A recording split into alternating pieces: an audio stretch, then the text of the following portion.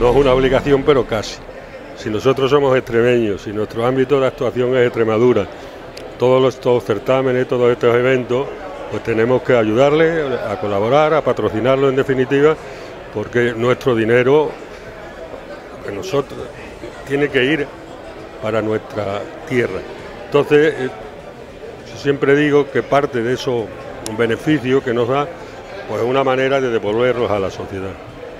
El patrocinio, pues bueno, pues empezamos hace muchos años con la VINA, pero por las circunstancias nos hemos ido quedando solos.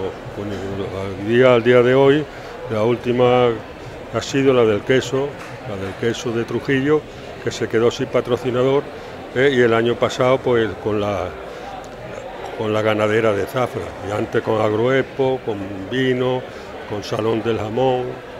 Únicamente la verdad que somos los únicos patrocinadores y, así nos lo dice nuestro presidente en sus intervenciones, dándonos las gracias por estar aquí.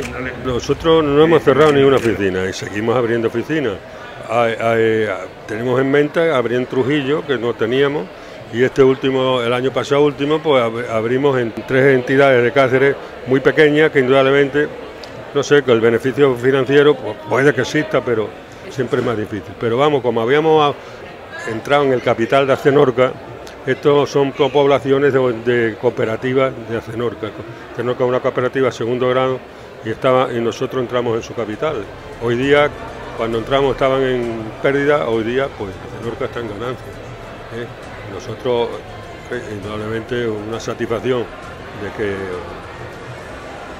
esa entidad que está allí en la Sierra de Gata, en una serie de poblaciones y de cooperativas y de pueblos pequeños y de agricultores pequeñitos, pues indudablemente haya resurgido otra vez ¿eh? y además le pusimos en contacto con, con otro, con Aceitunas Cazorla, que es uno de los exportadores mayores que tenemos en España de aceitunas de mesa y le está vendiendo todas las aceitunas.